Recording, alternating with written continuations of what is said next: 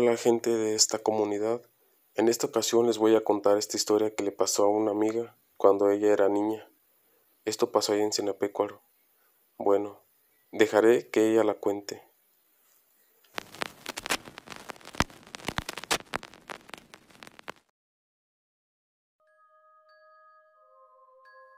Cuando vivía en una casa muy retirada de la entrada, así se llama un lugar de Sinapecuaro, la entrada. Bueno, para llegar a mi casa tenía que pasar por un lugar muy oscuro. Había muchos nopales, pero justo donde estaba un nopal muy grande, ahí salía un señor que cuando pasaba siempre ahí estaba la sombra de aquel hombre que me daba mucho miedo. Mis papás peleaban mucho. Cuando mi papá llegaba tomado, y pues yo era una niña, pero recuerdo que tenía que estar despierta para darle a mi papá de cenar, pues mi mamá estaba enojada con él y no le daba. Y más porque a esa hora tenía que prender lumbre para calentar la comida y tenía que pasar por donde ese hombre del nopal salía. Yo hacía como si no lo veía, pero él hacía cosas por llamar mi atención. Hacía ruidos muy desagradables y fuertes para tener mi atención y yo tener que aguantar todo eso y ser fuerte por mí y por no asustar a mis hermanos. En una ocasión, mi hermana la más chica me pidió que la acompañara al baño, y este estaba separado de la casa, cuando de pronto ella empezó a llorar y decirme, mira hermana, mira para el nopal, un señor nos está viendo y creo que viene para acá. Solo abracé a mi hermana y le dije, no pasa nada, vámonos adentro y no voltees para atrás. Y como estábamos chicos todos, Estábamos en el mismo cuarto y me puse a calmar a mi hermana que no paraba de llorar. Yo también tenía mucho miedo, pero como no quería despertar a mis papás, traté de que no hiciera ruido.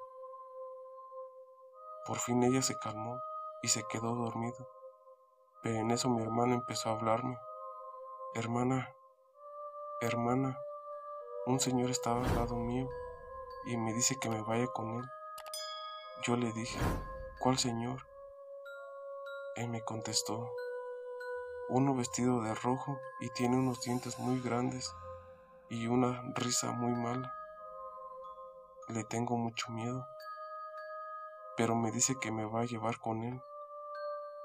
Igual estuve cuidando de mi hermano, pues era uno de los más chicos, y como yo era el hermano mayor tenía que ser fuerte por ellos. Al siguiente día le conté a mi mamá lo que nos había pasado, pero ella solo me dijo, Estás loca, ¿cómo crees? O a lo mejor es el diablo que se los quiere llevar. Como mi mamá no me hacía caso, mejor se lo conté a mi abuelita.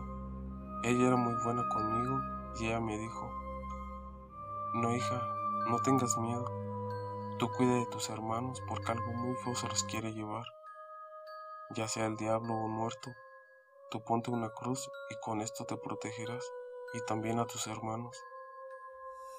Pero la primera noche que puse la cruz fue como una pesadilla, porque se escuchaban ruidos horrendos como si fuera pelea de gatos, y una mujer llorando con un llanto de mucho dolor.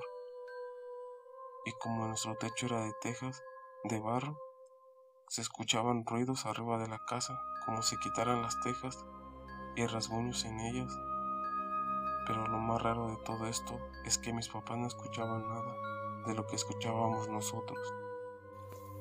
Y déjenme decirles que esto era cosa de todos los días. Aunque ya estábamos más grandes, todo esto nos seguía pasando.